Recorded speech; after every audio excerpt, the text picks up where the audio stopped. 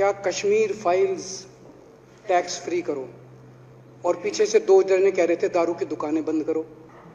अब इनको भी नहीं पता आज नारे किस चीज़ के लगाने ऊपर से आया तो था। ऊपर से आया तो था। तो दो जने कह रहे थे, दारू की दुकान बंद करो। आगे वाले कह रहे थे, कश्मीर फाइल्स टैक्स फ्री करो। फिर दूसरे वाले ने कहा भाई आज कश्मीर आज कश्मीर वाला नारा लगाना है।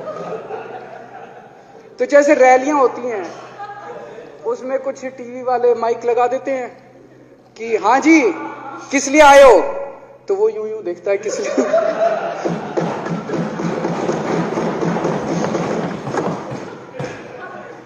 क्या हाल बना दिया इनका। इस, इसलिए थोड़ी राजनीति में आए थे। इसलिए थोड़ी राजनीति में आए थे। एक पिक्चर आई थी, बंटी और बबली। पिक्चर में एक सीन था।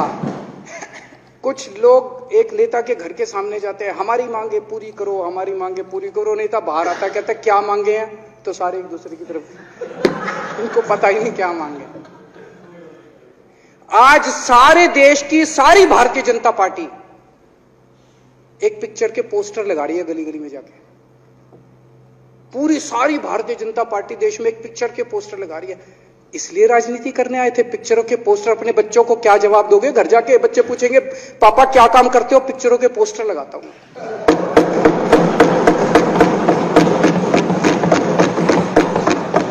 आठ साल केंद्र सरकार चलाने के बाद अगर किसी देश के प्रधानमंत्री को विवेक अग्निहोत्री के चरणों में शरण लेनी पड़े तो इसका मतलब उस प्रधानमंत्री ने आठ साल में कोई काम नहीं किया। आठ साल खराब कर दिए। बताओ, विवेक अग्निहोत्री के चरणों में उनको शरण लेनी पड़ रही है। बचा लो बचा लो बचा लो। अगर किसी प्रधानमंत्री को कह रहे हैं, कश्मीर फाइल्स टैक्स फ्री करो। अरे यूट्यूब पे डाल दो, फ्री फ्री हो जाएगी। टैक्स फ्री क्यों करा रहे हो? इतना ही तुमको शौक है, विवेक अग्निहोत्री को बोलो यूट्यूब पे डाल देगा। सारी पिक्चर फ्री है, सारे जने देख लेंगे एक दिन के अंदर। टैक्स फ्री की क्या ज़रूरत है? यूट्यूब पे क्यों नहीं डाल? कल एक मैंने अखबार में पढ़ा, हरियाणा के अंदर एक भारतीय जनता पार्टी का ही एक एमएलए था।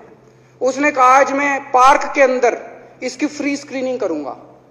तुरंत विवेक अग्निहोत्री का ट्वीट आया खट्टर साहब के। खट्टर साहब, देखो, ये फ्री में कर रहा है, इसको बोलो टिकट लेके करेगा। भाई साहब, कश्मीरों, कश्मीरी पंडितों के नाम पे कोई कुछ लोग करोड़ों करोड़ों रुपए कमा रहे हैं। और तुम लोगों को पोस्टर लगाने का काम दे दिया। आँखें खोलो क्या कर रहे हो तुम लोग? वो करोड़ों कमा गया। कश्मीरी पंडितों के नाम पे करोड़ों कमा गया और तुम लोग पोस्टर लगाते रह गए। क्या हाल बना दिया तुम लोगों का यार? आँखें खोलो तुम लोग।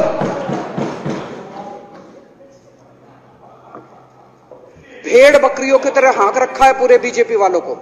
भेड़ बकरियों की तरह हाँक रहे हैं। एक दिन बोले तीन का कृषि कानून लेके आए हैं। बहुत शानदार है। और फिर नीचे मैसेज आया भाई सारे जने तारीफ़ करो मोदी जी की। सारे बोले, वाह मोदी जी, वाह, क्या मास्टर स्ट्रोक है। और मेरे को याद है, इसी सदन के अंदर इन लोगों ने, उन तीनों कानूनों की खूब तारीफ़ की थी। बोले, क्या मास्टर स्ट्रोक है और क्या शानदार कानून लेके आए एक साल के बाद फिर आया, भाई, तीनों कानून वापस ले लिए। बोलो, फिर तारीफ़ करो मोदी जी की, भाई, कानून बेकार थे। मोदी जी, क्या इसी सदन के अंदर इन लोगों ने इतनी बेशर्मी दिमाग पे ताला लगा रखा, इन्होंने कहा, वाह मोदी जी, वाह, क्या तीनों कानून खराब थे, आपने वापस ले लिया देश को बचा लिया। क्या मास्टर स्ट्रोक ये क्या हाल बना दिया आप लोगों का यार? फिर थोड़े दिन बाद बोले, भाई, दारू की दुकानों के खिलाफ करो, फिर सारे जने, दारू की दुकान बंद करो, दारू की अब दारू ठीक हो गई अब दिल्ली में? आजकल तो शोर नहीं करते तुम लोग? अब कश्मीर फ़ाइल आ गई। पहले कृषि कानून रोज काम दे रखा है तुमको। कुछ ना कुछ ऊपर से आ जाता है, काम दे रखा है, आप दारू की दुकानें। मेरा एक ही निवेदन है, मेरे बीजेपी के साथियों से, आप तो अपने ही हो। आप तो सब मेरे छोटे भाई, बड़े भाई विदुरी साहब तो बड़े भाई है मेरे। आप तो सारे अपने हो यार थोड़ा सा देश के बारे में सोचो यार। थोड़ा देश के बारे में सोचो। हिटलर भी जो था, वो कम से कम अपने चमचों को नौकरी देता था, रोज़गार देता था, इतिहास उठा के पढ़ो। उसने रोज़गार तो दिया था, इन्होंने क्या दिया आपको? आपके बच्चों को नौकरी दी? आपके घर में कोई खाने पीने का इंतज़ाम करा? आपकी बिजली का इंतज़ाम करा? केजरीवाल काम आता है आपके? आपके भी घर की बिजली फ्री कर रखी है? दिल्ली के 12 लाख बच्चों को नौकरी दी है मैंने। स्कूल ठीक कर दिए, अस्पताल ठीक कर दिए? आपके घर में कोई बीमार हो, केजरीवाल दवाई पहुंचाता है मोदी दवाई नहीं पहुंचाता। केजरीवाल काम आया, मैं बीजेपी के सारे कार्यकर्ताओं से कहना चाहता हूँ, थोड़ा सा दिमाग खोलो, बीजेपी के सारे सपोर्टर्स को कहना चाहता हूँ, थोड़ा सा दिमाग खोलो, ये भेड़ चाल बंद करो, भेड़ बकरियों की तरह हाँक रहे हैं या आपको, ये सब बंद करो, दिमाग खोल के, सारे जने बीजेपी छोड़ के आम आदमी पार्टी में आ जाओ।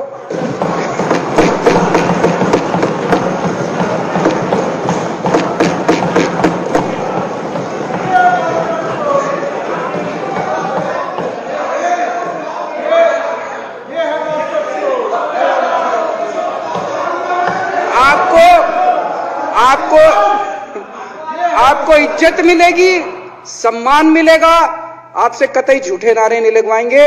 राष्ट्र निर्माण में आपको साथ लेंगे हम, राष्ट्र निर्माण करेंगे आपके साथ मिलकर ये पोस्टर भी नहीं लगवाएँगे झूठी फ़िल्मों के। और जो भी करना हो, कम से कम यार ये पिक्चर का प्रमोशन करना तो बंद करो। ये गंदे लगते हो तुम लोग। अच्छी शोभा नहीं देता आप लोगों को। यार आप अच्छे आदमी हो कुछ करने आए थे राजनीति में, कहा पिक्चर के पोस्टर और प्रमोशन करने में लगा दिया? इन्होंने एक चिट्ठी लिख दी चुनाव आयोग को कि हम तीनों एमसीडी को यूनिफाई कर रहे हैं, इसलिए चुनाव टाल दो चुनाव आयोग ने चुनाव टाल दिया। कल को दिसंबर में गुजरात के चुनाव हो रहे हैं। अब जनता कह रही है, ये गुजरात हारेंगे। अब अगर ये गुजरात हारेंगे तो ये दस दिन पहले चिट्ठी लिख देंगे चुनाव आयोग को कि भाई हम गुजरात को और महाराष्ट्र को एक कर रहे हैं, इसलिए गुजरात के चुनाव टाल दो। गुजरात के चुनाव टल जाएँगे।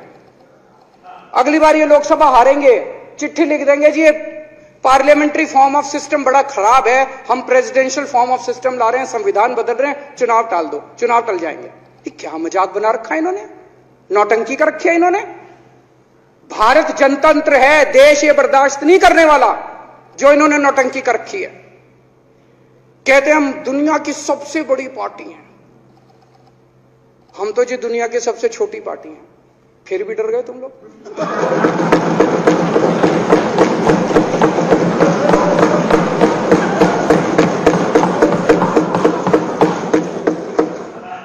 दुनिया की सबसे बड़ी पार्टी, दुनिया की सबसे छोटी पार्टी से डर के भाग गई। क्या कायर हो यार?